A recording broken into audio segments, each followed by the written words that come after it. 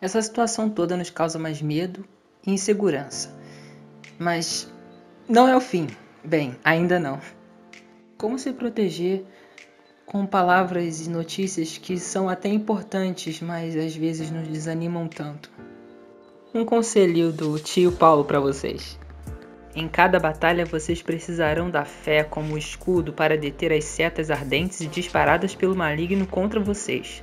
Vocês precisarão do capacete da salvação e da espada do Espírito, que é a palavra de Deus. Olha só, ferramentas essenciais e muito necessárias em dias de incerteza e desespero.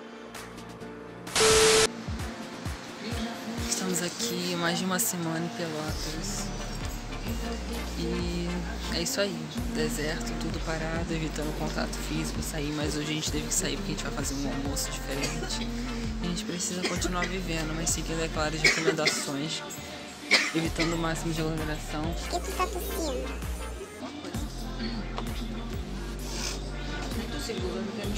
A pandemia generalizada e a mulher tossindo, tá de brincadeira, né? Ué, achei alguma coisa esqueci.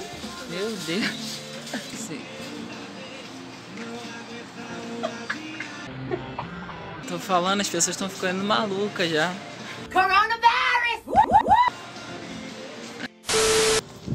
É até perigoso andar assim, né? Tudo deserto.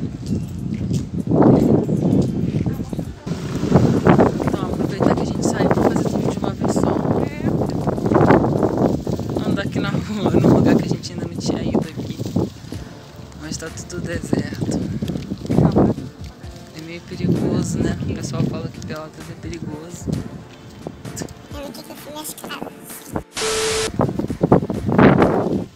São meio iguais, padrões. né? Modelo antigo.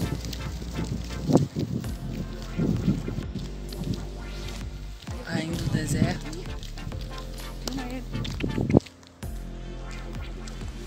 Cachorrinho. Hum, frente de um castelinho que tem aqui, que eu acho que foi construído pelos barões, na época dos barões. Mas não sei, não tenho certeza. Minha mãe disse que tinha uma árvore dessa em frente à minha casa. Eles cortaram esses vândalos antes de eu nascer. Vou mandando pra Porto Alegre. Tá doido, lá tá em caso de coronavírus. Aqui em Pelotas ainda não tem casos confirmados, só suspeitos. Caçando casas pra alugar. Vamos pra Porto Alegre, Rio Grande. Vamos. Castelo Simões Lopes. Só que eu acho que com certeza a gente não vai poder entrar, tá tudo fechado. Museu, cinema, tudo isso. É, ainda tá em construção, pelo jeito. Projeto inicial.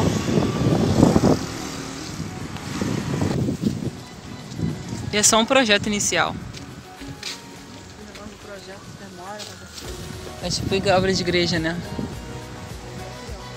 É, mas é bem bonito ali dentro, tá vendo?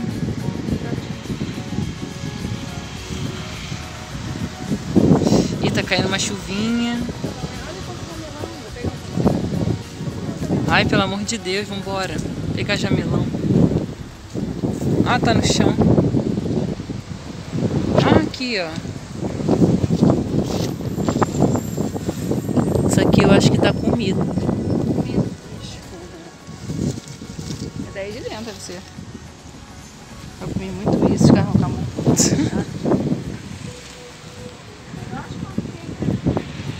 Jesus. Tava falando pra caramba e não tava filmando.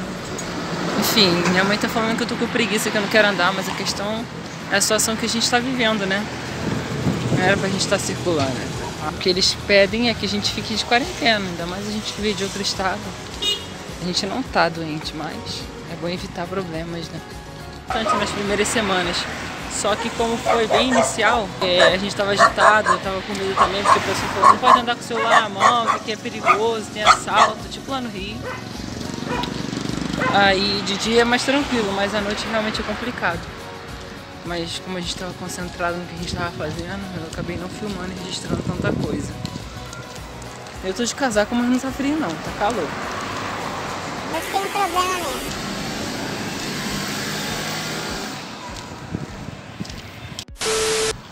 Pelotas, cidade cultural.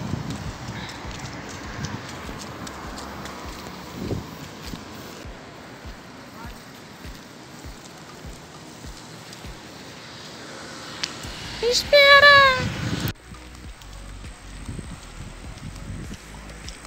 Continua o deserto, voltando pra casa agora. Chega de perambular por aí. Minhas pernas estão até doendo, de tanto ficar parado. O sangue tem que circular no corpo. Jesus, olhar pro céu. Oh, meu Deus, o Rottweiler Pitbull, quer dizer. Pet Bull. Pit. Ela é igual Vera. Pet Bull. Pet. Amo araucárias, linda, maravilhosa, árvore típica da região. Essa é a nossa rua já. Vou ter que roubar goiaba nos outros ali. Quer roubar goiaba? Nem consegui roubar goiabinha. Ah, tá chato.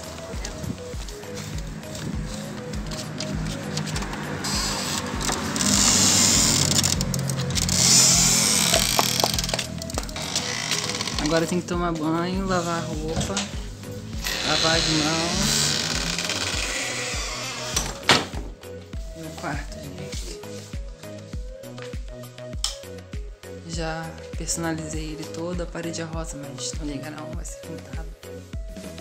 Ele é grande.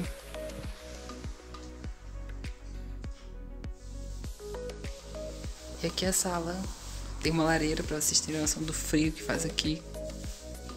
Cozinha.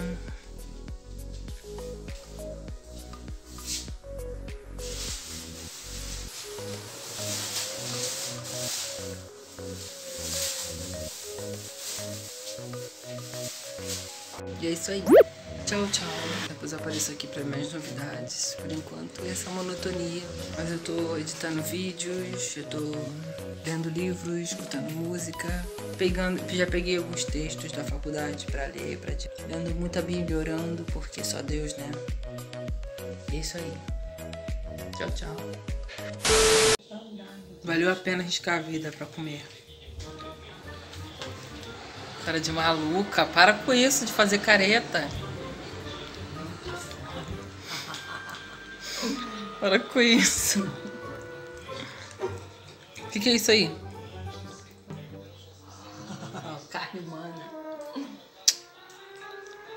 Carne de rato. Eu que não como carne de gente. Prefiro comer inseto do que comer carne de gente. Deus me livre. É isso aí. Discussão boa pra se fazer na hora de comer. Tá, chega.